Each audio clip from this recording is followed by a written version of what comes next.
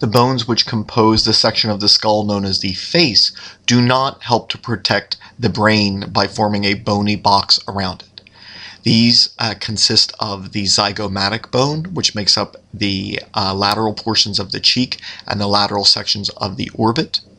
The nasal bone, which composes the bridge of the nose, the rest is cartilage the small lacrimal bone on the medial aspect of the orbit containing the lacrimal canal or the tear duct. The large maxilla or maxillary bone.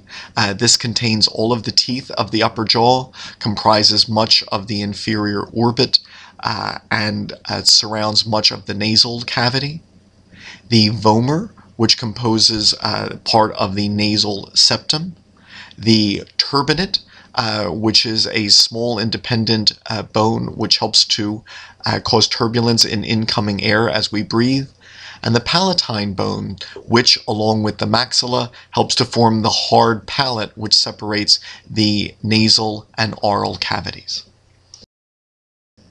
Here in the lateral aspect, one can observe uh, the nasal bones, uh, the maxilla or maxillary bones, the lacrimal uh, bone on the medial uh, aspect of the orbit, the cheekbone or zygomatic bone, and then obviously the large mandible, which holds all of the teeth of the lower jaw.